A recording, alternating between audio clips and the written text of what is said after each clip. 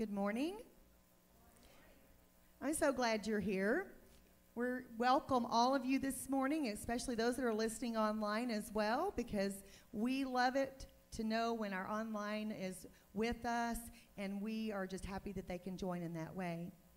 I'd like to welcome any first time visitors this morning, and if you would, fill out the yellow card in front of you in the pew rack and take it out to the Welcome Center after the service this morning and because uh, we do want to uh, welcome you as well. There are multiple things in our uh, bulletins, so if you haven't gotten one of those, they're outside on the desk, and please get one before you leave here today, especially because the prayer list is in the middle, and we do want to be praying for um, our members, our friends, our family, our community, and there's a list of those there that you can take with you and pray over this week. I, again, I'm just so glad that you're here with us this morning. And as you stand and greet each other this morning, just let them know that God loves them, and so do you. Stand and welcome each other.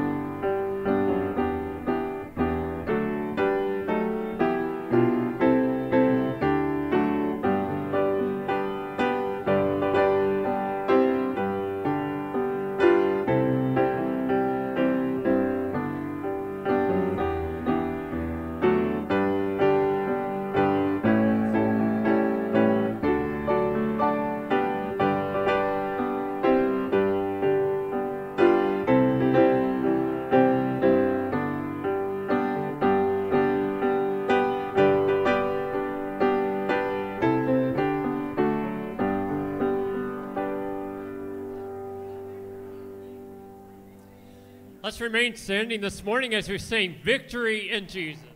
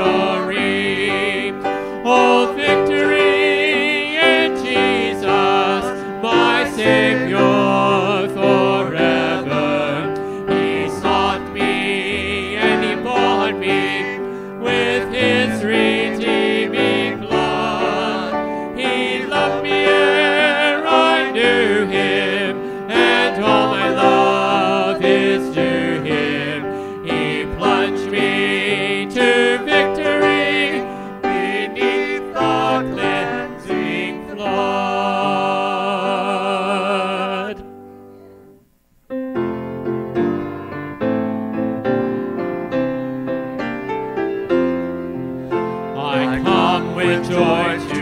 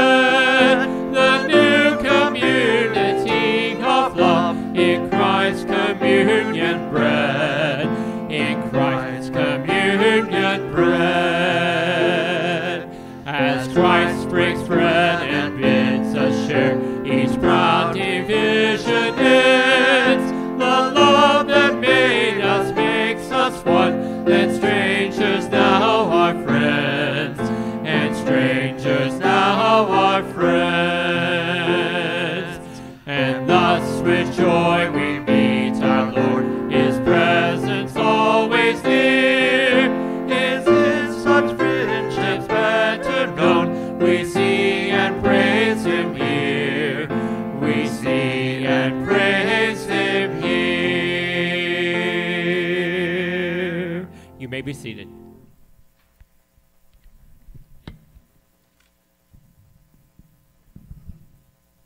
Thank you, choir.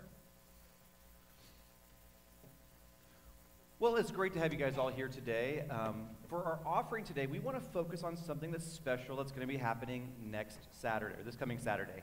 Um, from 4.30 to 6.30, we have our father-daughter dance that we've started up again. And so we are so excited to see um, the, the value and encourage the value of families.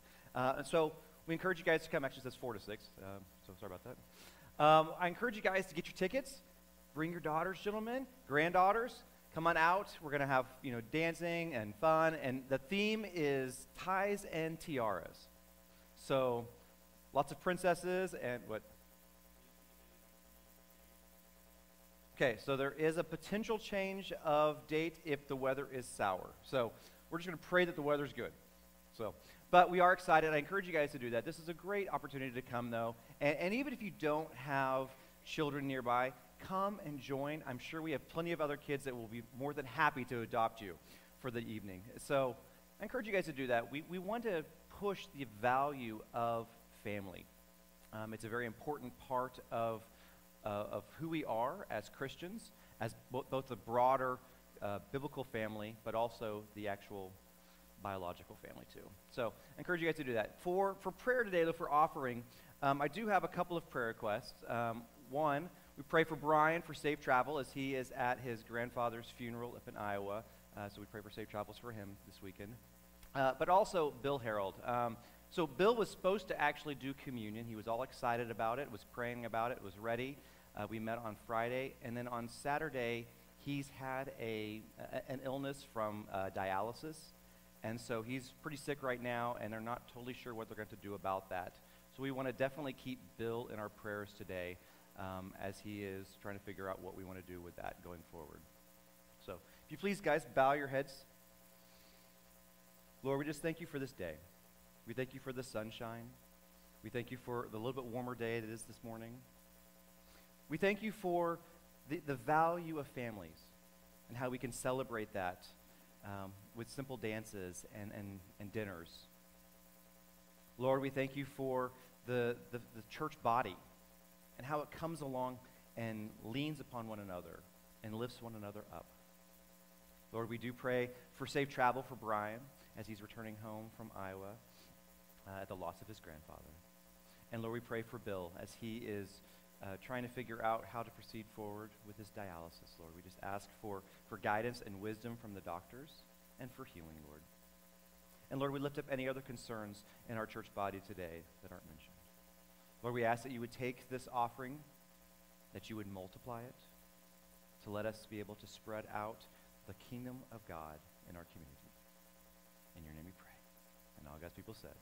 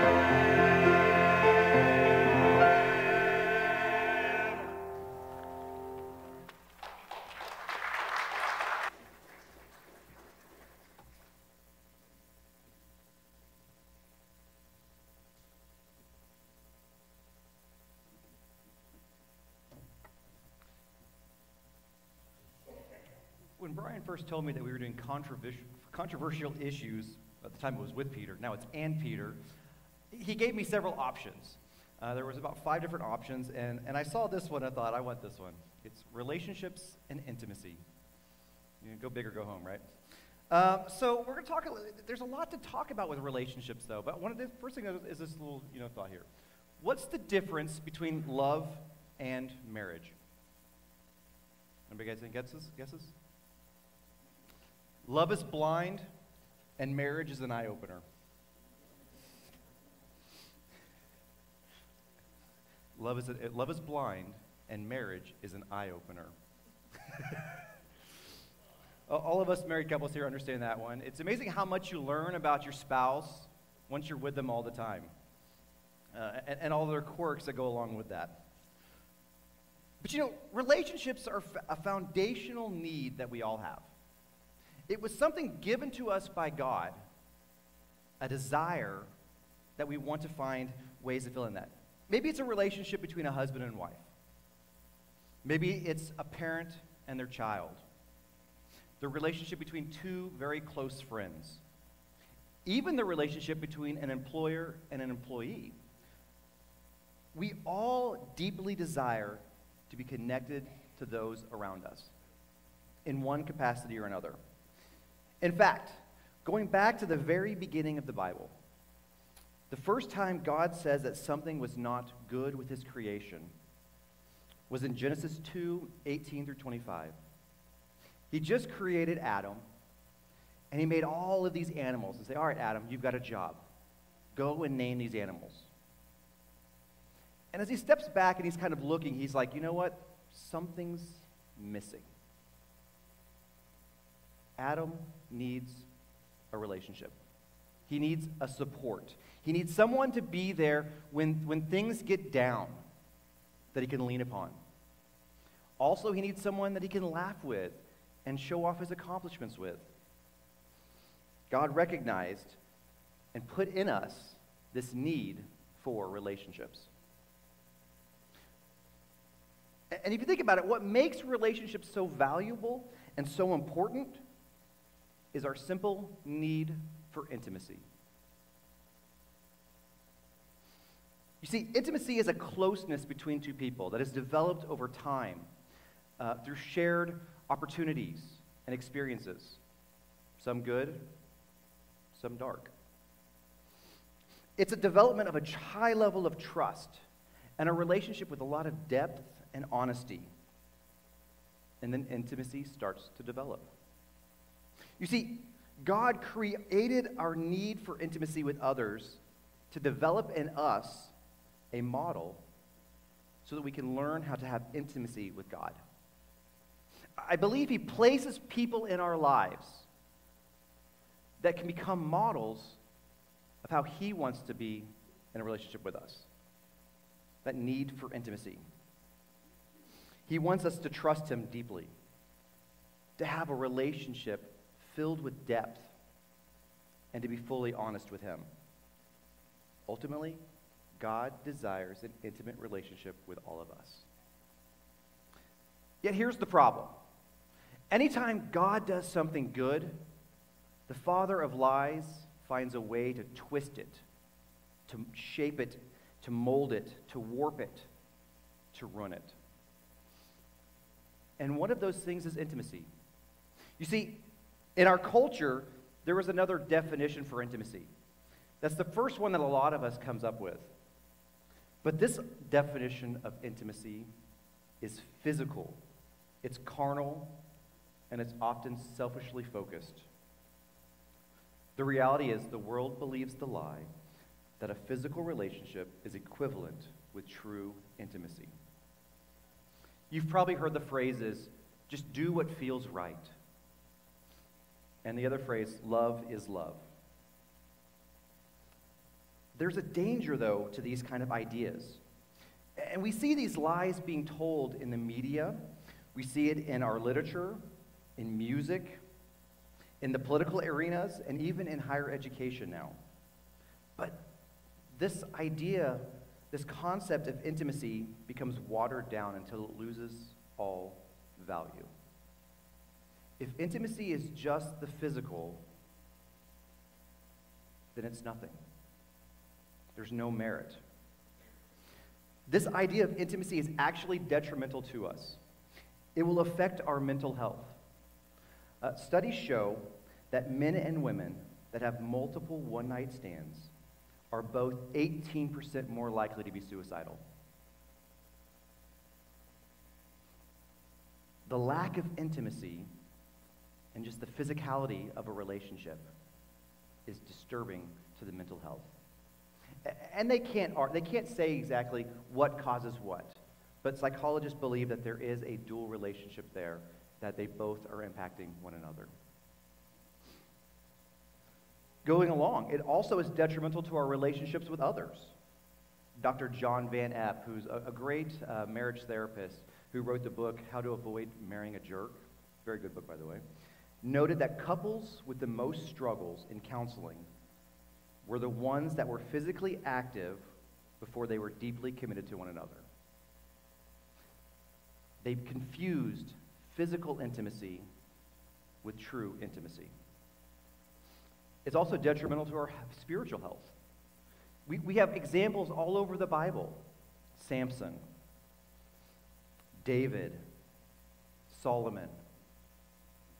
They allowed the physical to impact their spiritual health.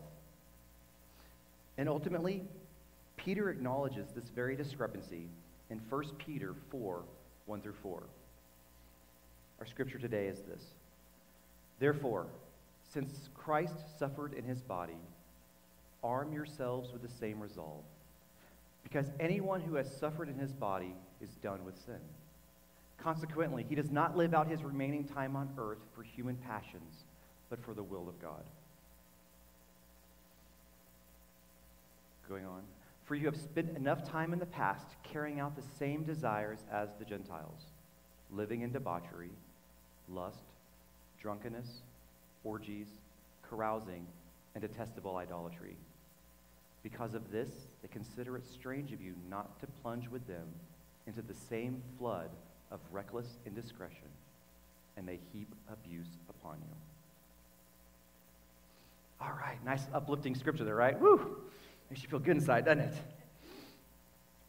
But, but here's the reality Peter starts out this verse discussing how Christ was and is the perfect example of an intimate relationship with Christ, with, with God, his Father.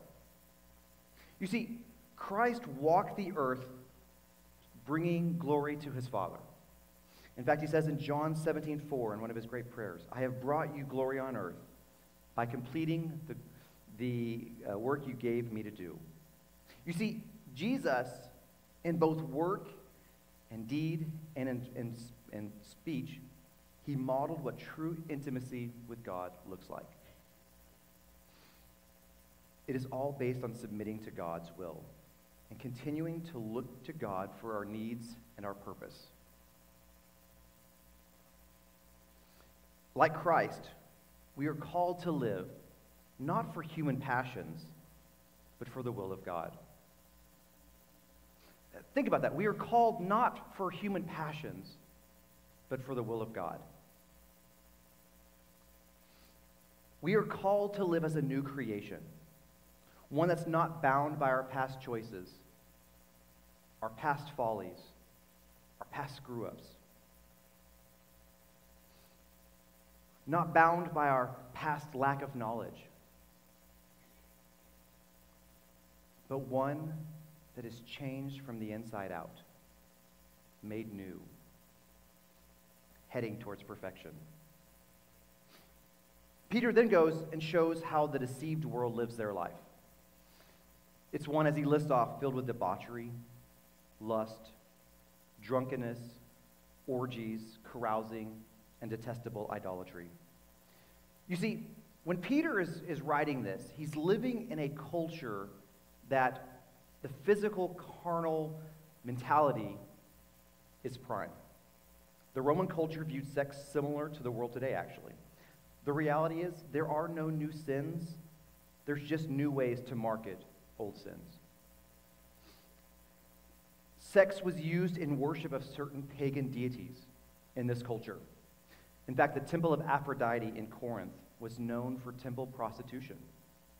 That was their form of worship to their god or goddess. But today, we just change the god or goddess. Today, sex is used in the worship of self. It's still the same altar. Still the same destructive idea. But we say, just do what feels right. The culture of the Roman culture was also all about lavish lifestyle and carnal living. In fact, Pompeii, Italy, you know, the place where Mount Vesuvius, big explosion of the, the volcano, and it covered the city, killing the city. Well, archaeologists have been excavating that for decades. And they have, over, they have uncovered over 25 brothels in that one city with murals painting different acts, different activities. You see, their goal was always just do what feels right. There are no consequences. Why does it matter? Ultimately, their selfish desires were the primary motiv- motivating factor for the people. They just wanted to fulfill their physical desires by any means necessary.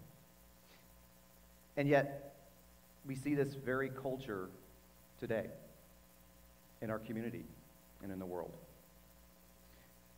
Yet, here's the thing it doesn't stay this way, it doesn't have to stay this way. That's the whole reason why Christ came. Christ came to change the rules of the world. Now there's, a, now there's an opportunity to make a decision. You see, Peter reveals that the past fleshly, selfish living is not how we are called to live today. You're a new creation. But this idea boggles the mind of the world. It confuses them. It makes them feel less than. So then they turn around and they insult us. They'll call us prudes or goody two shoes or self righteous. You see, they reject our idea of intimacy and they think we're the ones that are wrong. Yet they don't seem happy.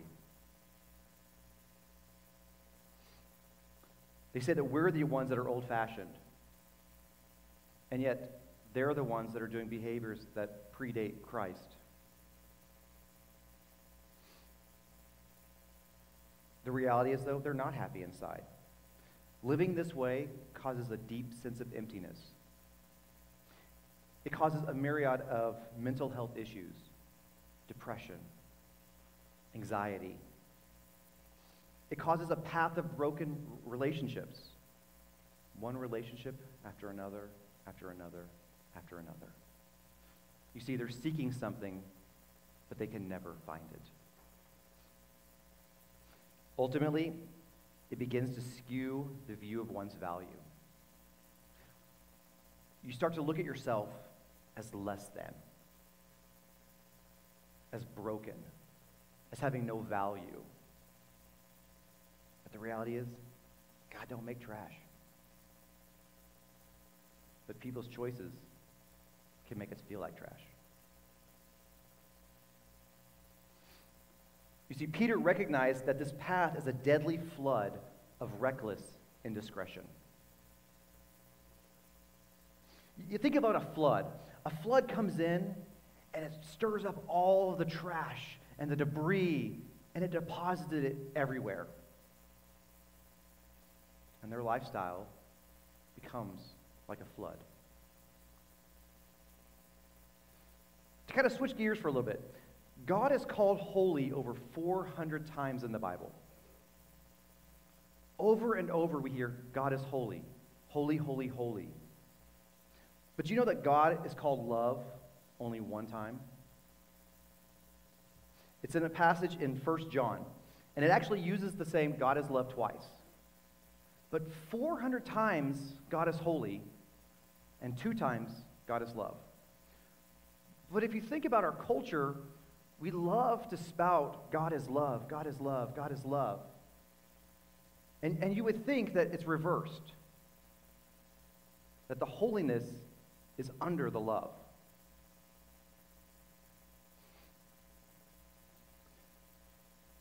But here's the thing God is absolutely love. There is no doubt about that. But we have to recognize that He is holy first. And it is through His holiness that He wants us to have an intimate relationship with Him. With a, rela- with a foundation based on truth, lived out in love. You see, here's the thing though God calls us to be holy also, to live to a higher standard, to not settle for the world's ideas. Earlier in Peter's letter, he declares in 1 Peter 1 15 and 16. But just as, just as he who, is call, who called you is holy, so be holy in all you do.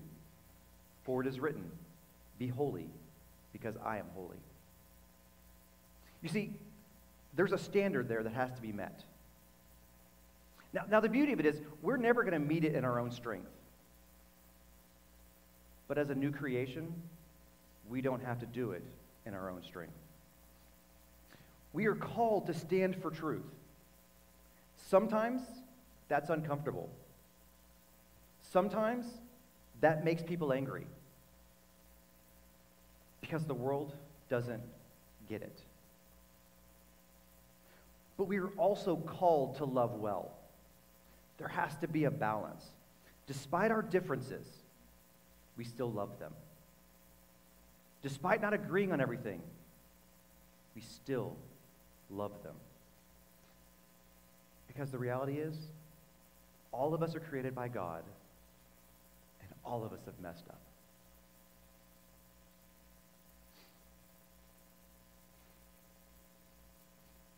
To seek true intimacy with our Heavenly Father, we've got a great example of it in the Gospels. All we have to do is look to Jesus.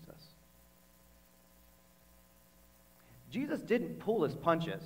He called sin sin. But he also loved extravagantly. One, of my favorite stories is the story of the adulterous woman. She's dragged in by the rabbis. Now, here's the thing these rabbis say they caught her in the act. How did they know that that's what she was going to be doing? And they didn't bring in the gentleman, they just brought in the broken woman. And they throw her down at the feet of Jesus in front of this crowd. It's like, she screwed up, Jesus. Now, the law says we're supposed to throw stones at her. What you going to do? And I'm sure that Jesus pauses for a second as he looks at her. And he sees this broken, defeated, shame filled woman. And he just has compassion for her and probably annoyance for the religious. The ones that set up this farce. But he gets down, he writes something on the ground, and it never says what he wrote. You know, some say maybe it was a list of sins. Maybe he was writing out his lunch menu. I don't know. We don't know. But he just writes something in the dirt. And finally, he stands up. And he kind of looks around. Says, All right, tell you what. Whoever here is free of sin, throw the first stone. And then the older leaders kind of grumble and they drop their rocks and they slowly walk away. Because they've lived the longest, they've recognized their own sins probably some in the act of what they're dealing with right now. Then the middle aged rabbis follow along, and finally the youngest rabbis, the, the new ones, they leave too. And then Jesus looks at her and says, Where are your condemners? Where are the ones that are accusing you of this? And she says, They've gone. And ironically enough, the only one that had the right to throw the first stone didn't pick one up. And he looks at her and says, Neither do I. Now go and sin no more.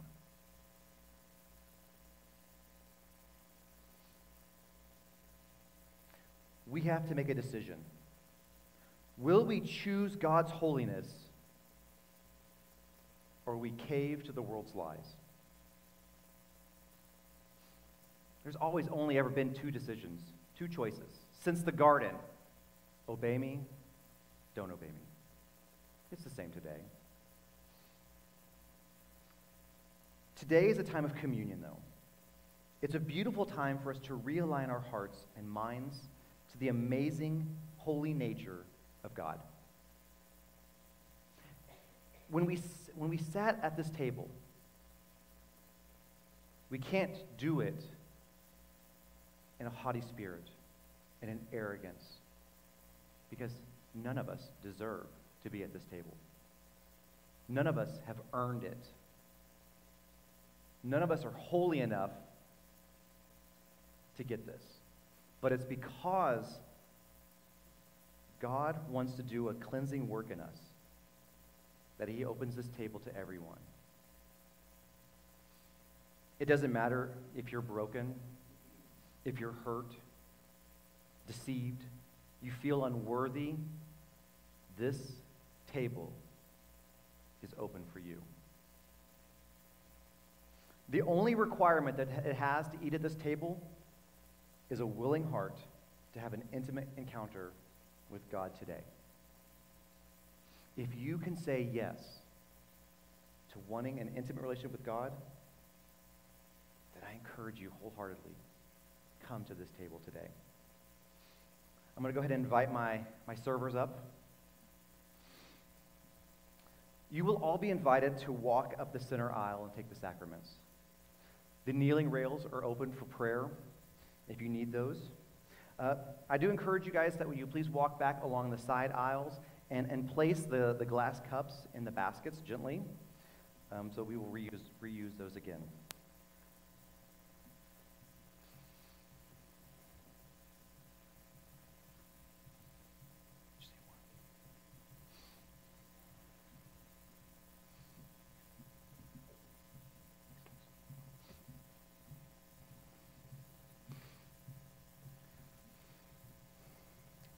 You know, I think at the communion table, when, we read the story of the Last Supper, I think it's very telling that the person sitting next to Jesus is Judas.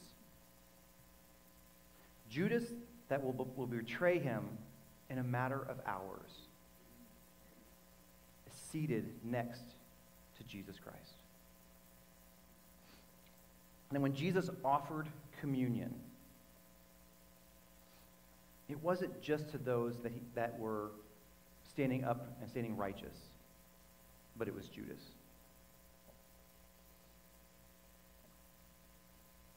You see, Jesus took the bread and he broke it, knowing that in a matter of hours, his body would be broken,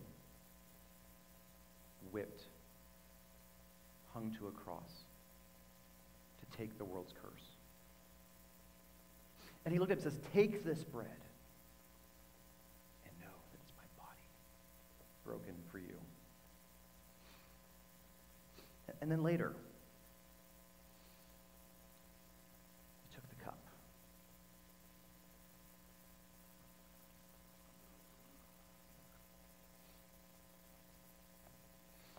Again, thinking about the blood that he would spill for his friends, for his enemies, for you and I. He says, Every time you meet, drink this in remembrance of me. Lord, you are holy, and we are not. But we thank you, Lord, that you have given us a opportunity to have an intimate relationship with you. Lord, as we take this meal today, may it be food for our very souls. It'll change us from the inside out. That when we're broken, we gain healing. Our hurt turns to joy. Our sadness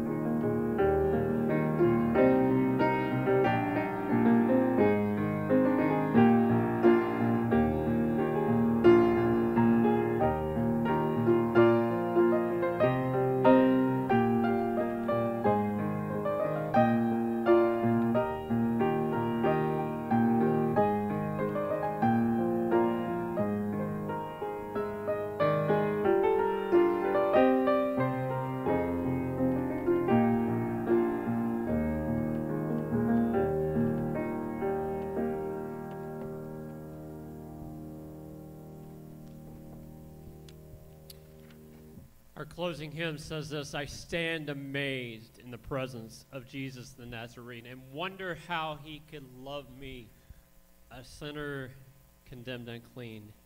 How marvelous, how wonderful. And my song is going to ever be of my Savior's love for me. Let's stand as we sing.